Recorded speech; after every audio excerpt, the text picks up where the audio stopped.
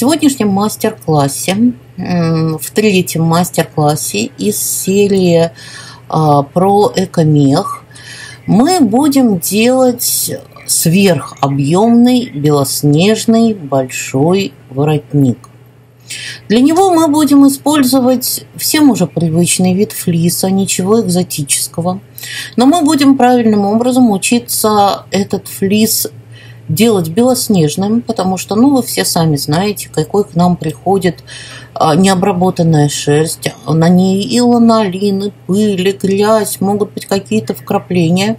То есть мы будем флис а, мягко очищать и отбеливать правильным образом, потом а, раскладывать и правильно уваливать.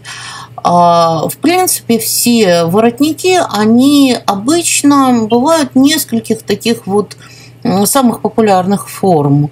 А, Причем названия говорят сами за себя. Я думаю, ничего вам уже дополнительно рисовать не надо. Это бывают воротники в форме банана, в форме телефонной трубки. Я надеюсь, вы помните, как она выглядит. В форме подковы и в форме полумесяца. Вот сегодня мы будем делать воротник а, в форме полумесяца.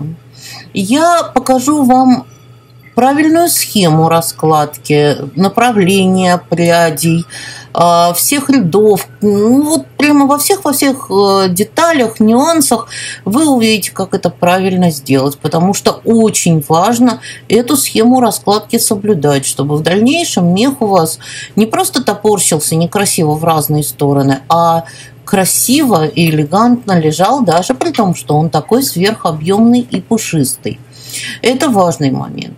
А дальше я вам расскажу обязательно, как эм, этот мех когда мы его уже уваляли, как его правильно, окончательно обработать, чтобы э, действительно каждая кудряшка заиграла, чтобы открыть ее вот полную природную красоту. Все то, что нам природа так щедро подарила.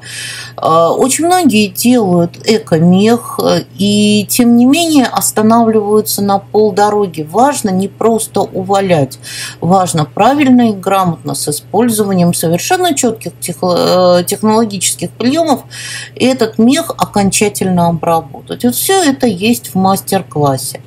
Мало того, когда вы будете валять, я вас очень-очень прошу, а, четко следуйте всем моим инструкциям, чтобы не получилось так, что вы все сделали по-своему, а потом задаете мне вопросы, почему не получилось. Я, во-первых, не телепат, я совершенно обычный человек. Я не могу вот э, все прочесть в вашей голове и когда вы сделали что-то по другой схеме, я не могу предсказать, что получится. Я знаю свои испытанные техники, свои технологические приемы. Именно потом по ним я могу вас консультировать, если вдруг вам что-то не удается. То есть, пожалуйста, первый воротник сделайте четко-четко по мастер-классу. Потом, когда вы будете заниматься, когда вы будете развиваться, пожалуйста, на втором, третьем, пятом, десятом экспериментируйте. В этой же технике вы сможете делать не только белые воротники. То есть, ну вот блок по отбеливанию – это одно, блок по раскладке и блок по обработке – это второе. Вы можете также работать с цветными флисами, если захотите получать вот такой сверхобъем. Никто вам этого не запрещает. У вас все получится. А, для меня очень важны ваши отзывы о моем мастер-классе. И, конечно, очень хочется увидеть фотографии ваших работ. Поэтому я буду их с нетерпением ждать. Хотите в личных сообщениях, хотите, у нас прекрасная есть группа «Минутки о войлоке» в Фейсбуке.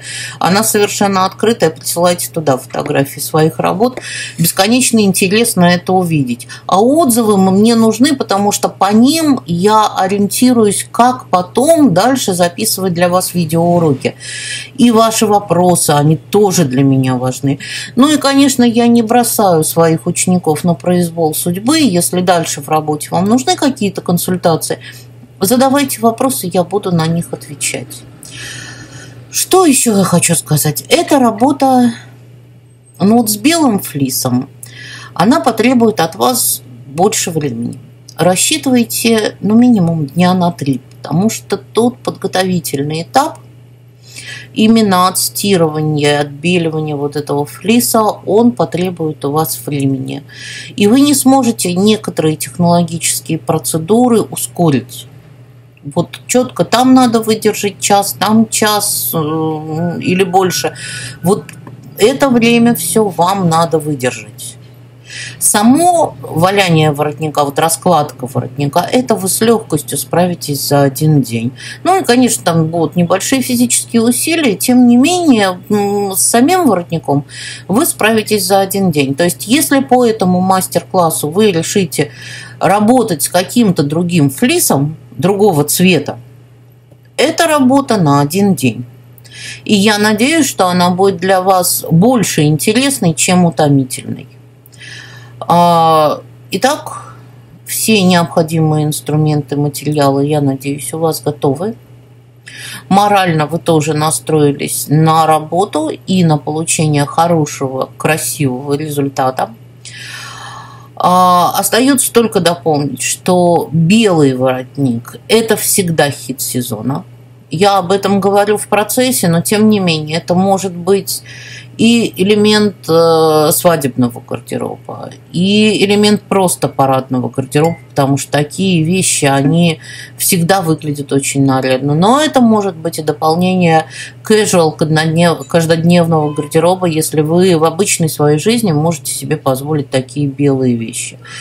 А, это то, что всегда востребовано, у вас всегда на такие объемные воротники будут покупатели и заказчики.